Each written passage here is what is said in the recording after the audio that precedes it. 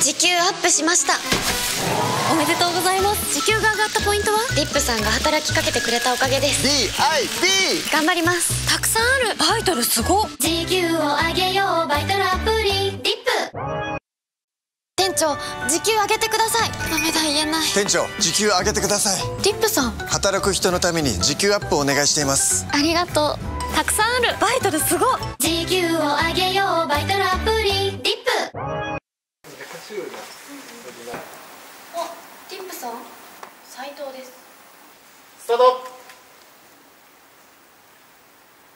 ありがとう。ありがとう。今日はなんで英語っぽくなったのか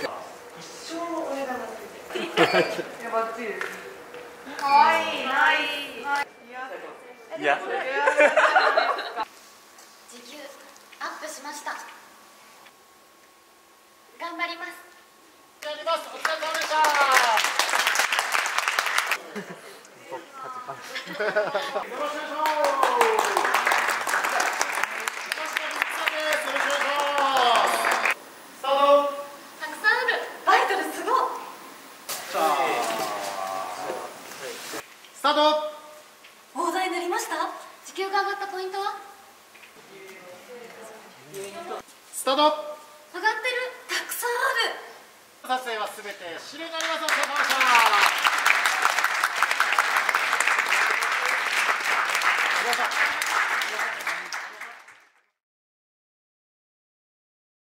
たあのカフェの店員さんのパターンがあったんですけどそっちの衣装がすごい可愛らしくて好きだったのとまたこのユニフォーム一度前回も着たのでまた着れるんだなっていうのがちょっと嬉しかったのでそこが見どころです。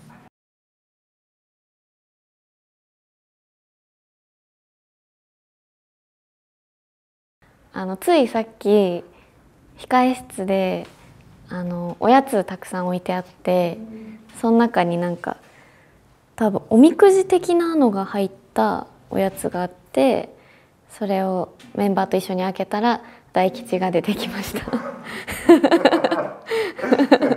嬉しかったです。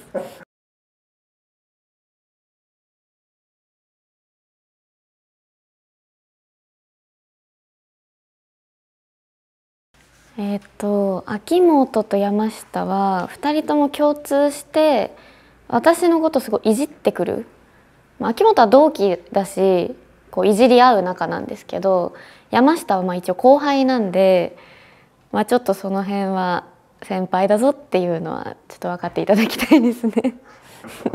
なるほど。秋元さんなんかお願いしたいことあります。同期ならでは。えー、秋元はそうだななんかその最近やっぱりこう1期生がだんだんだんだん少なくなっていて結構こうどんどん仲良くなってるんですよその今いるメンバーが。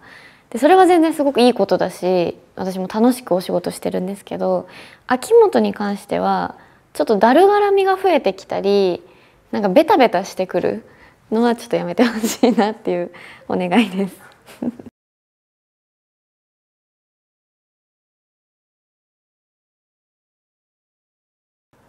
2022年は、まあ、乃木坂全体で言えばあの大きい日産スタジアムでのライブを控えてるので、まあ、まずはそれが成功することが一番ですしそれでこう後輩メンバーたちがこうちゃんと私たちすごいんだぞっていう実感を持ってもらえたら嬉しいなと思います。斉藤さんご自身は何かあります？私はえー、雪が見たいです。なるほど。はい。1月雪降るといいですね。降るかな、降ってるといいですけど。